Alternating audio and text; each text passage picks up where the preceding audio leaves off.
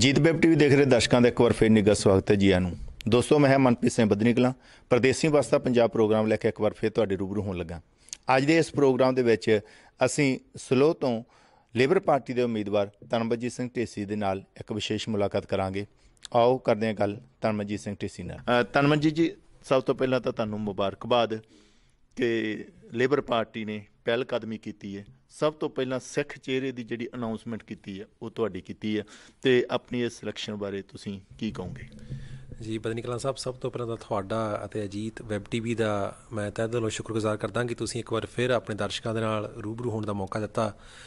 ਤੇ ਆਪਾਂ ਹੁਣ ਜਿਵੇਂ ਤੁਸੀਂ ਜ਼ਿਕਰ ਕੀਤਾ, ਇਕੱਠੇ ਇਸ ਕਰਕੇ ਹੋਏ ਆ ਕਿਉਂਕਿ ਜੋ ਇੱਥੇ ਇੱਕੋ ਇੱਕੋਦਮ ਯੂਕੇ ਦੇ ਵਿੱਚ ਜੋ ਲੋਕ ਸਭਾ ਦੀਆਂ ਜਨਰਲ ਇਲੈਕਸ਼ਨ ਜੋ ਅਨਾਉਂਸ ਹੋ ਗਈ ਹੈ, ਉਸ ਦੇ ਤਹਿਤ ਮੈਂ ਬਹੁਤ ਹੀ ਸ਼ੁਕਰਗੁਜ਼ਾਰ ਹਾਂ ਲੇਬਰ ਪਾਰਟੀ ਜੋ ਨੈਸ਼ਨਲ ਐਗਜ਼ੀਕਟਿਵ ਕਮੇਟੀ ਆ, ਉਹਨਾਂ ਸਾਰਿਆਂ ਦਾ ਕਿ ਉਹਨਾਂ ਨੇ ਇਸ ਨਾ ਚੀਜ਼ ਨੂੰ ਇਸ ਕਾਬਿਲ ਸਮਝਿਆ ਕਿ ਮੈਂ ਨੁਮਾਇੰਦਗੀ ਕਰ ਸਕਾਂ। ਤੁਸੀਂ ਕੀ ਇਹ ਮਹਿਸੂਸ ਕੀਤਾ ਕਿ ਇੱਥੇ ਆਮ ਲੋਕਾਂ ਦੇ ਮੁੱਦੇ ਕਿਹੜੇ-ਕਿਹੜੇ ਆ ਜਿਹੜੇ ਤੁਸੀਂ ਜੇ ਤੁਹਾਨੂੰ ਚੁਣੇ ਜਾਂਦੇ ਆ ਤੇ ਲੋਕੀ ਕਿਉਂ ਚੁਣ ਤੁਸੀਂ ਕਿਹੜੇ-ਕਿਹੜੇ ਮੁੱਦਿਆਂ ਨੂੰ ਲੈ ਕੇ ਗਾਂ ਤੁਸੀਂ ਜੀ ਤੁਰੋਗੇ ਦੇਖੋ ਸਭ ਤੋਂ ਪਹਿਲਾਂ ਤਾਂ ਜਿੱਥੇ ਤੁਸੀਂ ਸਲੋ ਦੀ ਜ਼ਿਕਰ- ਕੀਤਾ ਵੀ ਇੱਥੇ ਤਕਰੀਬਨ 40% ਦੀ ਜਿਹੜਾ ਹੈਗਾ ਏਸ਼ੀਆਈ ਏਸ਼ੀਅਨ ਭਾਈਚਾਰਾ ਹੈ। ਤੇ ਜੋ ਮੁਸਲਿਮ ਵੀ ਨੇ, ਸਿੱਖ ਵੀ ਨੇ, ਹਿੰਦੂ ਵੀ ਨੇ, ਈਸਾਈ ਵੀ ਨੇ, ਤੇ ਉਹਨਾਂ ਦੇ ਜੋ ਇੱਕ ਤਾਂ ਸਭ ਤੋਂ ਜਿਹੜੀ ਜ਼ਰੂਰੀ ਗੱਲ ਹੈ, ਉਹ ਹੈਗੀ ਕਮਿਊਨਿਟੀ ਕਹੀਜਨ ਵੀ ਆਪਾਂ ਕਿੱਦਾਂ ਸਾਰਿਆਂ ਨੂੰ ਇਕਜੁੱਟ ਰੱਖਣਾ ਆ ਸੋ ਜਿੱਥੇ ਮੈਂ ਸਿੱਖ ਭਾਈਚਾਰੇ ਦਾ ਵੀ ਨੁਮਾਇੰਦਾ ਹੋਊਂਗਾ, ਪਰ ਮੈਂ ਸਾਰੇ ਭਾਈਚਾਰਿਆਂ ਦਾ ਨੁਮਾਇੰਦਾ ਹੋਊਂਗਾ ਕਿ ਮੈਂ ਲੇਬਰ ਪਾਰਟੀ ਦੀ ਟਿਕਟ ਤੇ ਲੜ ਰਿਹਾ, ਸੋ ਮੈਂ ਲੇਬਰ ਐਮਪੀ ਦੇ ਵਜੋਂ ਸੇਵਾ ਨਿਭਾਊਂਗਾ। ਸੋ ਇਹ ਮੈਂ ਸਾਰਿਆਂ ਨੂੰ ਵਿਸ਼ਵਾਸ ਵੀ ਦਿਵਾਉਂਦਾ ਆ ਕਿ ਜਿੱਥੇ ਕਮਿਊਨਿਟੀ ਕਹੀਜਨ ਬਹੁਤ ਜ਼ਰੂਰੀ ਹੈ ਵੀ ਭਾਈਚਾਰਕ ਜਿਹੜੀ ਸਾਂਝ ਆ ਉੱਥੇ ਦੇਖੋ ਸਲੋ ਦਾ ਇੱਕ ਬਹੁਤ ਅਹਿਮ ਸਥਾਨ ਆ ਯੂਕੇ ਦੀ ਇਕਨੋਮੀ ਦੇ ਵਿੱਚ। ਇੱਥੇ ਕਿਉਂਕਿ ਆਪਾਂ ਹੀਥਰੋ ਦੇ ਵੀ ਨਜ਼ਦੀਕ ਆ ਲੰਡਨ ਦੇ ਵੀ ਨਜ਼ਦੀਕ ਆ ਜੋ ਇਥੋਂ ਹਾਈ ਸਪੀਡ ਟੂ ਜਿਹੜੀ ਰੇਲ ਲਿੰਕ ਆ ਉਧਰੋਂ ਵੈਸਟਰਨ ਰੇਲ ਲਿੰਕ ਜਿਹੜੀ ਆਪਣੇ ਹੀਥਰੋ ਨੂੰ ਵੀ ਆ ਇਹ ਅਲੱਗ-ਅਲੱਗ ਜਿਹੜੇ ਇਨਫਰਾਸਟ੍ਰਕਚਰ ਜਿਹੜੇ ਭਈ ਢਾਂਚੇ ਦੇ ਜਿਹੜੇ ਹੁੰਦੇ ਆਪਣੇ ਪ੍ਰੋਜੈਕਟ ਨੇ ਉਹਨਾਂ ਤੋਂ ਵੱਧ ਤੋਂ ਵੱਧ ਫਾਇਦਾ ਸਲੋ ਨੂੰ ਹੋਵੇ ਇਹ ਵੀ ਇੱਕ ਮੇਰੀ ਇੱਕ ਖੁਆਇਸ਼ ਹੋਵੇਗੀ ਤਾਂ ਇਸ ਲਈ ਵੀ ਮੈਂ ਮਿਹਨਤ ਕਰੂੰਗਾ। ਉਸ ਦੇ ਨਾਲ ਨਾਲ ਜੋ ਇਹ ਵੀ ਹੈ ਕਿ ਆਪਾਂ ਜਿਹੜੇ ਇੱਥੇ ਹਾਊਸਿੰਗ ਦੀ ਵੀ ਬਹੁਤ ਘਾਟ ਆ।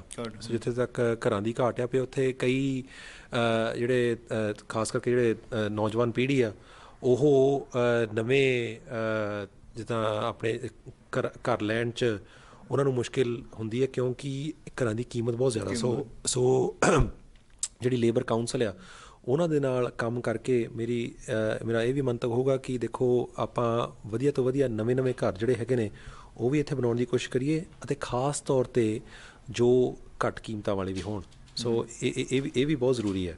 ਸੋ ਬਦਨਿਕਲਾ ਸਾਹਿਬ, ਉਸ ਦੇ ਨਾਲ ਨਾਲ ਜੋ ਹੈ ਵੀ ਜਿੱਥੇ ਸਕੂਲਾਂ ਦੇ ਵਿੱਚ ਜੋ ਮੈਂ ਸਮਝਦਾ ਵੀ ਟੂਰੀ ਸਰਕਾਰ ਦੀ ਜੋ ਨਾਕਾਮਯਾਬੀ ਹੈ ਕਿ ਉਹ ਜਿਹੜੇ ਕਟੌਤੀਆਂ ਉਹਨਾਂ ਨੇ ਕੀਤੀਆਂ ਨੇ ਚਾਹੇ ਉਹ ਸਕੂਲਸ ਦਾ ਬਜਟ ਆ ਹੁਣ ਤੇ ਸਲੋ ਦੇ ਸਕੂਲ ਨੇ ਉਹ, ਅ, 10 ਮਿਲੀਅਨ ਪਾਉਂਡ ਤੋਂ ਜ਼ਿਆਦਾ ਉਹਨਾਂ ਨੂੰ ਉਹਨਾਂ ਦੇ ਬਜਟ ਕੱਟ ਹੋਏ ਨੇ। ਜਿਹੜੀ ਕਾਉਂਸਲ ਆ ਉਹਨਾਂ ਦੇ ਪਿਛਲੇ 5 ਸਾਲਾਂ ਜੋ 5 ਸਾਲਾਂ ਦਾ ਜਿਹੜਾ ਪ੍ਰੋਗਰਾਮ ਆ ਉਹਦੇ ਵਿੱਚ ਉਹਨਾਂ ਨੂੰ 54 ਮਿਲੀਅਨ ਪਾਉਂਡ ਦਾ ਜੋ ਬਜਟ ਉਹਨਾਂ ਦਾ ਕੱਟ ਹੋਇਆ। ਇਸ ਦੇ ਨਾਲ ਮੈਂ ਸਮਝਦਾ ਕਿ ਜਿਹੜੀਆਂ ਪਬਲਿਕ ਸਰਵਿਸਿਜ਼ ਜਿੱਦਾਂ ਹੁਣ ਐਨਐਚਐਸ ਆ ਚਾਹੇ ਉਹ ਸੋਸ਼ਲ ਕੇਅਰ ਆ ਇਹਨਾਂ ਸਾਰਿਆਂ ਦੇ ਵਿੱਚ ਕਟੌਤੀਆਂ ਦੇ ਨਾਲ ਜੋ ਆਮ ਲੋਕਾਂ ਨੂੰ ਮੁਸ਼ਕਿਲ ਆਵੇਗੀ।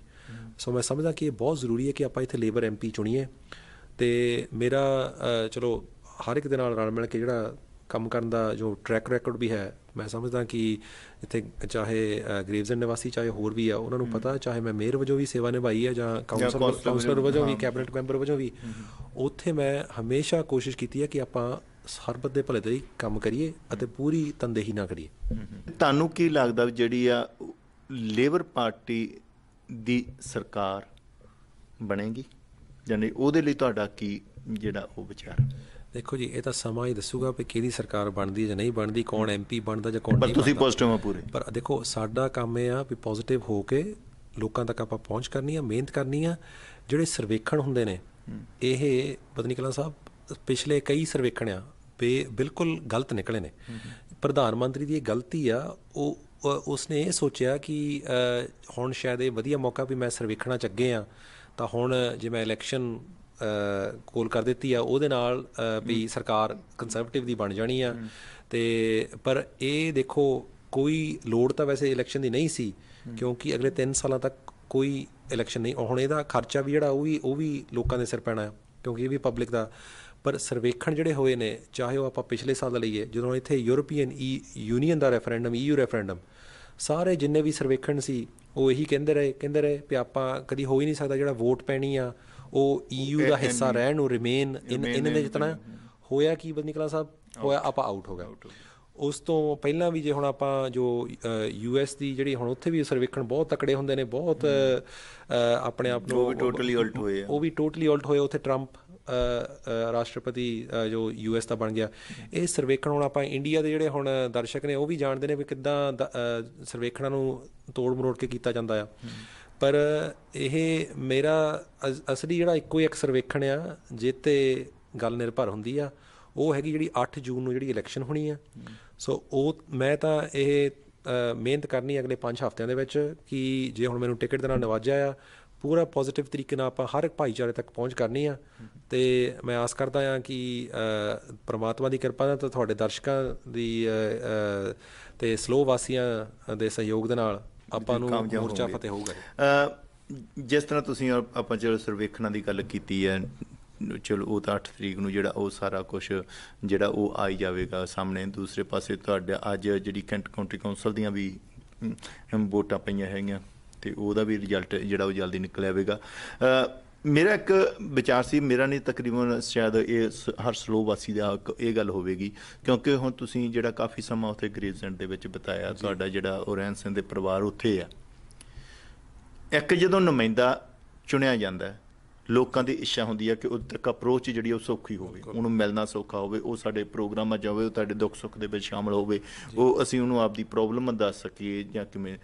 ਫਿਰ ਤੁਸੀਂ ਕੀ ਚੁਣਿਆ ਕਿ ਜੇ ਤੁਸੀਂ ਕੱਲ ਨੂੰ ਪਾਰਲੀਮੈਂਟ ਮੈਂਬਰ ਬਣਦੇ ਹੋ? ਜੀ। ਤੇ ਤੁਹਾਡੀ ਫਿਰ ਜਿਹੜੀ ਰਹਿائش ਖਾਸ ਤੌਰ ਤੇ ਹੋਗੀ ਕਿਉਂਕਿ ਉਹਨਾਂ ਇੰਨੇ ਸਾਲਾਂ ਦਾ ਤੁਹਾਡਾ ਗ੍ਰੇਵਜ਼ਨ ਨਾਮ ਉਹ ਆ ਇਹ ਤੁਹਾਡੀ ਜਨਮ ਦੀ ਧਰਤੀ ਆ ਤੇ ਉਹਦੇ ਵਿੱਚੋਂ ਫਿਰ ਤੁਸੀਂ ਕਿਸ ਨੂੰ ਚੂਜ਼ ਕਰੋਗੇ? ਦੇਖੋ ਜੀ ਪਤਨੀਕਲਾ ਸਾਹਿਬ ਮੈਂ ਸਲੋ ਵਾਸੀਆਂ ਨੂੰ ਵੀ ਇਹ ਉਚੇਚੇ ਤੌਰ ਤੇ ਤੁਹਾਨੂੰ ਵਿਸ਼ਵਾਸ ਦਿਵਾਉਣਾ ਚਾਹੁੰਦਾ ਕਿ ਆਪਣਾ ਅੱਡਾ ਗੱਡਾ ਇੱਥੇ ਸਲੋ ਚ ਹੋਊਗਾ। ਇੱਥੇ ਬਕਾਇਦਾ ਦਫ਼ਤਰ ਹੋਵੇਗਾ। ਸੋ ਇੱਥੇ ਮੈਂ ਸਮਝਦਾ ਕਿ ਜੇ ਇੱਕ ਐਮਪੀ ਨੇ ਕਾਮਯਾਬ ਹੋਣਾ ਆ ਉਹਨੂੰ ਇੱਕ ਹਲਕੇ ਦਾ ਵਧੀਆ ਨੁਮਾਇੰਦਾ ਜਿਹੜਾ ਕਹਿੰਦੇ ਆਪਾਂ ਇੰਗਲਿਸ਼ ਕਹਿੰਦੇ ਵਧੀਆ ਕੰਸਟੀਚੁਐਂਸੀ ਐਮਪੀ ਹੋਣਾ ਬਹੁਤ ਜ਼ਰੂਰੀ ਆ। ਉਹ ਤਾਂ ਹੀ ਹੋ ਸਕਦਾ ਵੀ ਜੇ ਇੱਥੇ ਅੱਡਾ ਗੱਡਾ ਹੋਵੇ ਇੱਥੇ ਮੈਂ ਲੋਕਾਂ ਦੇ ਵਿੱਚ ਰੋਜ਼ ਵਿਚਰਾਂ ਤੇ ਉਹਨਾਂ ਦੀਆਂ ਦੁੱਖ ਤਕਲੀਫਾਂ ਸੁਣਾ। ਸਰਜਰੀ ਦੇ ਵਿੱਚ ਵੀ ਤੇ ਜਿਹੜੇ ਸਮਾਗਮ ਵੀ ਨੇ ਉਹ ਅਲੱਗ-ਅਲੱਗ ਭਾਈਚਾਰਿਆਂ ਦੇ ਉਹਦੇ ਵਿੱਚ ਵੀ ਮੈਂ ਸ਼ਿਰਕਤ ਕਰਨੀ। ਸੋ ਇੱਥੇ ਦਾ ਆਪਾਂ ਅੱਡਾ ਗੱਡਾ ਹੋਣਾ ਆ। ਤੁਸੀਂ ਇਹ ਨਾ ਸੋਚਿਓ ਵੀ ਇਹਨੇ ਸ਼ਾਇਦ ਹਫ਼ਤੇ 'ਚ ਇੱਕ ਵਾਰੀ ਆ ਜਾਣਾ ਇੱਥੇ ਜਾਂ ਦੋ ਵਾਰੀ ਆ ਜਾਣਾ ਸ਼ਾਇਦ ਉਥੋਂ ਵੈਸਟ ਮਿਨਿਸਟਰ ਤੋਂ ਹੀ ਆਪਣਾ ਸਾਰਾ ਕੁਝ ਚਲਾਉਣਾ ਆ। ਨਾ ਦਫ਼ਤਰ ਉੱਥੇ ਵੈਸਟ ਮਿਨਿਸਟਰ ਹੋਣਾ ਆ ਉਹ ਵੀ ਇੱਥੇ ਹਲਕੇ ਦੇ ਵਿੱਚ ਹੋਊਗਾ ਜੋ ਆਪਣਾ ਮੇਨ ਹੈ ਤਾਂ ਕਿ ਆਪਾਂ ਹਰ ਇੱਕ ਲੋਕਾਂ ਤੱਕ ਜੇ ਪਹੁੰਚ ਕਰੀਏ ਕਿ ਇਹ ਮੈਂ ਸਮਝਦਾ ਬਹੁਤ ਜ਼ਰੂਰੀ ਹੈ ਕਿਉਂਕਿ ਦੂਰ ਰਹਿ ਕੇ ਲੋਕਾਂ ਦੇ ਕੰਮ ਨਹੀਂ ਹੁੰਦੇ ਦੁੱਖ ਤਕਲੀਫਾਂ ਨਹੀਂ ਉਹਨਾਂ ਦੀਆਂ ਹੱਲ ਹੁੰਦੀਆਂ ਤੇ ਜੇ ਮੈਂ ਇਦਾਂ ਬਣੀਗਾ ਵੀ ਜੇ ਹੁਣ ਮੈਨੂੰ ਇਹ ਮਾਣ ਪ੍ਰਾਪਤ ਹੋਇਆ ਵੀ ਸਲੋ ਵਾਸੀਆਂ ਦਾ ਮੈਂ ਨੁਮਾਇੰਦਾ ਬਣਿਆ। ਯਾਨੀ ਕਿ ਸਿੱਧੀ ਗੱਲ ਹੈ ਜੇ ਸਲੋ ਵਾਸੀ ਤੁਹਾਨੂੰ ਇਹ ਤਾਂ ਜਦੋਂ ਕਿ ਤੁਸੀਂ ਸਲੋ ਦੇ ਹੀ ਬਣ ਕੇ ਰਹੋਗੇ ਸਲੋ ਸਲੋ ਦੇ ਵਿੱਚ ਹੀ ਰਹੋਗੇ ਤੇ ਵਿੱਚ। ਬਿਲ- ਬਿਲਕੁਲ ਬਿਲਕੁਲ। ਅਤੇ ਤੁਹਾਨੂੰ ਹੁਣ ਤੱਕ ਜਿਹੜੀਆਂ ਪਿਛਲੇ 1-2 ਹਫ਼ਤੇ ਵਿੱਚ ਇੱਕ ਹਫ਼ਤਾ ਹੋ ਚੁੱਕਾ ਤੁਹਾਨੂੰ ਇਹਦੀ ਅਨਾਉਂਸਮੈਂਟ ਹੋਈ ਨੂੰ ਲੋਕਾਂ ਵੱਲੋਂ ਕਿਸ ਤਰ੍ਹਾਂ ਦਾ ਹੁੰਗਾਰਾ ਮਿਲ ਰਿਹਾ? ਜੀ ਮੈਂ ਸਮਝਦਾ ਕਿ ਬਹੁਤ ਵਧੀਆ ਹੁੰਗਾਰਾ ਮਿਲ ਰਿਹਾ। ਚਾਹੇ ਅਲੱਗ-ਅਲੱਗ ਭਾਈਚਾਰਿਆਂ ਦੇ ਮੈਨੂੰ ਜਾਣ ਦਾ ਮੌਕਾ ਮਿਲਿਆ ਜਿਹੜੇ ਕਾਉਂਸਲਰ ਸਾਹਿਬਾਨ ਨੇ ਉਹਨਾਂ ਨੇ ਵੀ ਬਹੁਤ ਵਧੀਆ ਸਹਿਯੋਗ ਦਿੱਤਾ ਕਾਉਂਸਲ ਲੀਡਰ ਨੇ ਡਿਪਟੀ ਲੀਡਰ ਨੇ ਤਾਂ ਸਮੂਹ ਜਿੰਨੇ ਵੀ ਲੇਬਰ ਕਾਉਂਸਲਰ ਨੇ ਕਿਉਂਕਿ ਇੱਥੇ ਜਿਹੜੀ ਕਾਉਂਸਲ ਹੈ ਉਹ ਵੀ ਬਦਨਿਕਲਾ ਸਾਹਿਬ ਵੀ ਇੱਥੇ ਹੁਣ ਮੌਜੂਦਾ ਸਮੇਂ ਦੇ ਵਿੱਚ 42 ਦੇ ਵਿੱਚੋਂ 33 ਲੇਬਰ ਕਾਉਂਸਲਰ ਨੇ। ਸੋ ਬਹੁਮਤ ਜਿਹੜੀ ਵੱਡੀ ਬਹੁਮਤ ਆ ਉਹ ਲੇਬਰ ਕਾਉਂਸਲਰਾਂ ਦੀ ਆ। ਉਹਨਾਂ ਤੱਕ ਵੀ ਮੈਂ ਹਰ ਇੱਕ ਤੱਕ ਪਹੁੰਚ ਕੀਤੀ ਹੈ ਤੇ ਉਹਨਾਂ ਦਾ ਵੀ ਬਹੁਤ ਵਧੀਆ ਸਹਿਯੋਗ ਮਿਲ ਰਿਹਾ। ਸੋ ਮੈਨੂੰ ਪੂਰੀ ਆਸ ਹੈ ਕਿ ਆਪਾਂ ਰਲ ਮਿਲ ਕੇ ਜੋ ਅਲੱਗ-ਅਲੱਗ ਭਾਈਚਾਰਿਆਂ ਦੇ ਨਾਲ ਵੀ ਵਿਚਰ ਕੇ ਤੇ ਘਰੋ ਘਰੀ ਵੀ ਹੁਣ ਸਾਡੇ ਜਾਣ ਦਾ ਪ੍ਰੋਗਰਾਮ ਹੈਗਾ ਇਹਨਾਂ 5 ਹਫ਼ਤਿਆਂ ਦੇ ਵਿੱਚ। ਤੇ ਹਜੇ ਤੱਕ ਤਾਂ ਬਹੁਤ ਵਧੀਆ ਹੁੰਗਾਰਾ ਮਿਲ ਰਿਹਾ ਤਾਂ ਮੈਂ ਆਸ ਕਰਦਾ ਕਿ ਪ੍ਰਮਾਤਮਾ ਆਪਾਂ ਨੂੰ ਸਫਲਤਾ ਦੇਵੇ। ਆਖਰ ਦੇ ਵਿੱਚ ਇੱਕ ਗੱਲ ਮੈਂ ਤੁਹਾਨੂੰ ਪੁੱਛਾਂਗਾ ਉਸ ਦਾ ਜਵਾਬ ਜਾਨੀ ਕਿ ਤੁਸੀਂ ਦਿਓ ਲੋਕੀ ਤੁਹਾਨੂੰ ਵੋਟ ਪਾਉਣ ਤਾਂ ਕਿਉਂ ਪਾਉਣ? ਸਭ ਤੋਂ ਜਿਹੜੀ ਜ਼ਰੂਰੀ ਚੀਜ਼ ਆ ਇਹ ਆ ਵੀ ਜੇ ਤੁਸੀਂ ਆਪਣੇ ਕੰਮ ਕਰਾਉਣੇ ਨੇ ਕੋਈ ਤੁਸੀਂ ਮਿਹਨਤੀ ਬੰਦਾ ਚਾਹੁੰਦੇ ਆ ਜਿਹੜਾ ਜਿਹੜੇ ਤੱਕ ਤੁਸੀਂ ਪਹੁੰਚ ਕਰ ਸਕੋ ਆਪਣੀ ਜ਼ੁਬਾਨ ਦੇ ਵਿੱਚ ਗੱਲ ਕਰ ਸਕੋ, ਤਾਂ ਮੈਂ ਸਮਝਦਾ ਕਿ ਦਾਸ ਉਹਨਾਂ ਸਾਰੀਆਂ ਚੀਜ਼ਾਂ ਤੇ ਖਰਾ ਉਤਰੇਗਾ। ਇਹ ਜਿਹੜਾ ਇੱਕ ਇੱਕ ਤਾਂ ਹੁੰਦਾ ਵੀ ਸਿਰਫ ਗੱਲਾਂ ਤੇ, ਪਰ ਮੈਂ ਪਿਛਲੇ 10 ਸਾਲਾਂ ਦੇ ਵਿੱਚ ਜੋ ਕਾਉਂਸਲਰ ਵਜੋਂ ਵੀ ਸੇਵਾ ਨਿਭਾਈ ਹੈ, ਜੋ ਹੋਰ ਅਲੱਗ-ਅਲੱਗ ਅਦਾਰਿਆਂ ਦੇ ਵਿੱਚ, ਖਾਸ ਕਰਕੇ ਜਿਹੜੇ ਚੈਰਿਟੀ ਸੈਕਟਰ ਦੇ ਵਿੱਚ ਚਾਹੇ ਉਹ ਗੱਤਕਾ ਫੈਡਰੇਸ਼ਨ ਦੇ ਪ੍ਰਧਾਨ ਹੋਣ ਦੇ ਨਾਤੇ ਯੂਕੇ ਗੱਤਕਾ ਫੈਡਰੇਸ਼ਨ ਦੇ ਚਾਹੇ ਉਹ ਐਲਜ਼ਾਈਮਰਸ ਡਿਮੈਂਸ਼ੀਆ ਸਪੋਰਟ ਸਰਵਿਸਿਜ਼ ਜੋ ਕਿ ਚੈਰਿਟੀ ਹੈ ਉਹਦਾ ਟਰਸਟੀ ਹੋਣ ਦੇ ਨਾਤੇ ਚਾਹੇ ਸਕੂਲ ਗਵਰਨਰ ਦੇ ਹੋਣ ਦੇ ਨਾਤੇ ਅਲੱਗ-ਅਲੱਗ ਜਿਹੜੇ ਜਿਨ੍ਹਾਂ ਜਿੱਥੇ ਜਿੱਥੇ ਵੀ ਮੈਂ ਸੇਵਾ ਨਿਭਾਈ ਹੈ ਉਹ ਪੂਰੀ ਮਿਹਨਤ ਨਾਲ ਸੋ ਇਹ ਤੁਹਾਡਾ ਜਿਹੜਾ ਟਰੈਕ ਰਿਕਾਰਡ ਜਿਹਨੂੰ ਜਿਹਨੂੰ ਆਪਾਂ ਕਹਿੰਦੇ ਹੁੰਦੇ ਇੰਗਲਿਸ਼ ਦੇ ਵਿੱਚ ਵੀ ਉਹ ਮੰਨਿਆ ਪ੍ਰਮੰਨਾ ਹੈਗਾ ਸੋ ਇਹ ਜੇ ਸਭ ਕਿ ਤੁਹਾਡੇ ਤੋਂ ਕੰਮ ਬੋਲਦੇ ਆ। ਕੰਮ ਬੋਲਦੇ ਨੇ ਤਾਂ ਇਹ ਅੱਗੇ ਤੋਂ ਵੀ ਬੋਲੂਗੇ। ਸੋ ਇਹੀ ਮੈਂ ਬੇਨਤੀ ਕਰਦਾ ਹਾਂ ਕਿ ਸਾਰਿਆਂ ਨੂੰ ਕਿ ਤੁਸੀਂ ਜਿਹੜਾ ਸੰਦੇਸ਼ ਆ, ਇਹ ਅਗਾਹ ਤੋਂ ਜ਼ਰੂਰ ਲੈ ਕੇ ਜਾਓ। ਜੇ- ਕਈ ਦਰਸ਼ਕ ਚਲੋ ਸਲੋ ਦੇ ਨਹੀਂ ਰਹਿਣ ਵਾਲੇ ਹੋਊਗੇ, ਉਹਨਾਂ ਦੇ ਸ਼ਾਇਦ ਦੋਸਤ ਰਿਸ਼ਤੇਦਾਰ ਇੱਥੇ ਹੋਣ। ਜੇ ਤੁਹਾਨੂੰ ਜੋ ਮੈਂ ਆਖਿਆ, ਉਹ ਚੰਗਾ ਲੱਗਿਆ ਹੋਵੇ, ਤਾਂ ਤੁਸੀਂ ਇਹ ਸੁਨੇਹਾ ਅਗਾਹ ਤੱਕ ਜ਼ਰੂਰ ਪਹੁੰਚਾਓ ਬਹੁਤ ਬਹੁਤ ਧੰਨਵਾਦ ਧਰਮਜੀਤ ਜੀ ਕੋਈ ਹੋਰ ਇਹੋ ਜੀ ਗੱਲ ਜੇ ਤੁਸੀਂ ਕਹਿਣਾ ਚਾਹੁੰਦੇ ਹੋ ਜੋ ਮੈਂ ਤੁਹਾਨੂੰ ਨਾ ਪੁੱਛ ਸਕਿਆ ਹੋਵਾਂ, ਤੇ ਕੋਈ ਹੋਰ ਇਦਾਂ ਦੀ ਗੱਲ? ਦੇਖੋ ਇਹ ਮੈਂ ਸਮਝਦਾ ਕਿ ਜੇ ਤੁਸੀਂ ਇੱਕ ਨੁਮਾਇੰਦਾ ਭੇਜਣਾ ਆ, ਮੈਂ ਦਰਸ਼ਕਾਂ ਨੂੰ ਸਿਰਫ ਇਹ ਨਹੀਂ ਦੇਖਣਾ ਚਾਹੀਦਾ ਕਿ ਕਿਹੋ ਜਿਹਾ ਦਿਖਦਾ ਆ ਜਾਂ ਕਿਹੋ ਜਿਹਾ ਰੰਗ ਆ। ਤੁਹਾਨੂੰ ਇਹ ਵੀ ਜ਼ਰੂਰ ਦੇਖਣਾ ਚਾਹੀਦਾ ਵੀ ਉਹਦੇ ਵਿੱਚ ਕਿਹੜੀ ਕਾਬਲੀਅਤ ਹੈਗੀ ਆ। ਮੈਂ ਤੁਹਾਨੂੰ ਇਹ ਵਿਸ਼ਵਾਸ ਦਵਾਉਂਦਾ ਕਿ ਮੈਂ ਇੱਕ ਬੁਲੰਦ ਆਵਾਜ਼ ਦੇ ਤੌਰ ਤੇ ਵੈਸਟਮਿਨਸਟਰ ਦੇ ਵਿੱਚ ਪਾਰਲੀਮੈਂਟ ਦੇ ਵਿੱਚ ਉਹ ਬੁਲੰਦ ਆਵਾਜ਼ ਸਲੋ ਵਾਸੀਆਂ ਲਈ ਵੀ ਅਤੇ ਸਮੂਹ ਜੋ ਭਾਈਚਾਰੇ ਦੇ ਲਈ ਵੀ ਵੀ ਯੂਕੇ ਦੇ ਵਿੱਚ ਵੀ ਤੇ ਅੰਤਰਰਾਸ਼ਟਰੀ ਪੱਧਰ ਤੇ ਵੀ ਮੈਂ ਸਮਝਦਾ ਕਿ ਉਹ ਸਮਰੱਥਾ ਹੈਗੀ ਆ। ਚਾਹੇ ਉਹ ਤੁਸੀਂ ਜੋ ਵਿਦਿਅਕ ਤੌਰ ਤੇ ਵੀ ਦੇਖ ਲਓ ਜਿਹੜੀ ਮੇਰੀ ਆਪਣੇ ਅੰਡਰ ਗ੍ਰੈਜੂਏਟ ਡਿਗਰੀ ਸੀ ਉਹ ਯੂਨੀਵਰਸਿਟੀ ਕਾਲਜ ਲੰਡਨ ਤੋਂ ਸੀ ਉਸ ਤੋਂ ਬਾਅਦ ਮੈਂ ਆਕਸਫੋਰਡ ਅਤੇ ਕੈਂਬਰਿਜ ਯੂਨੀਵਰਸਿਟੀ ਦੇ ਵਿੱਚ ਵੀ ਜੋ ਮਾਸਟਰਸ ਅਤੇ ਐਮਫਿਲ ਦੀਆਂ ਡਿਗਰੀਆਂ ਹਾਸਲ ਕੀਤੀਆਂ ਆ। ਤੇ ਜਿਹੜਾ ਤਜਰਬਾ ਵੀ ਆ ਉਹ ਵੀ ਬੋਲਣਾ ਚਾਹੀਦਾ ਕਿਉਂਕਿ ਮੈਨੂੰ 15 ਸਾਲ ਲੇਬਰ ਮੂਵਮੈਂਟ ਦੇ ਵਿੱਚ ਵੀ ਹੋ ਗਏ ਨੇ ਲੇਬਰ ਪਾਰਟੀ ਦੇ ਹਲਕੇ ਦੇ ਚੇਅਰਮੈਨ ਵਜੋਂ ਵੀ ਕਈ ਸਾਲ ਸੇਵਾ ਨਿਭਾਈ ਹੈ।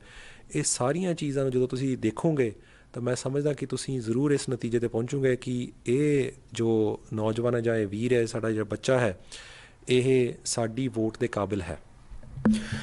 ਬਹੁਤ ਬਹੁਤ ਧੰਨਵਾਦ ਜੀ। ਮੇਰਾ ਖਿਆਲ ਦਰਸ਼ਕਾਂ ਨੂੰ ਸਾਡੀ ਅੱਜ ਦਾ ਜਿਹੜਾ ਇਹ ਇੰਟਰਵਿਊ ਜ਼ਰੂਰ ਪਸੰਦ ਆਈ ਹੋਵੇਗੀ। ਇਹ ਸੀ ਅੱਜ ਦਾ ਪ੍ਰੋਗਰਾਮ, ਪਰਦੇਸੀ ਵਾਸਤਾ ਪੰਜਾਬ। ਆਸ ਹੈ, ਅਜੀਤ ਵੈਬ ਟੀਵੀ ਦੇ ਦਰਸ਼ਕਾਂ ਜ਼ਰੂਰ ਪਸੰਦ ਆਇਆ ਹੋਵੇਗਾ। ਹੁਣ ਦਿਓ ਮਨਪ੍ਰੀਤ ਸਿੰਘ ਬਦਨੀ ਕਲਾਂ ਨੂੰ ਇਜਾਜ਼ਤ। ਅਗਲੀ ਵਾਰ ਫੇਰ ਇਸੇ ਤਰ੍ਹਾਂ ਇੱਕ ਹੋਰ ਪ੍ਰੋਗਰਾਮ ਲੈ ਕੇ ਤੁਹਾਡੇ ਰੂਬਰੂ ਹੋਵਾਂਗਾ। ਤਦ ਤੱਕ ਸਤਿ ਸ੍ਰੀ ਅਕਾਲ, ਰੱਬ ਰੱਖਾ।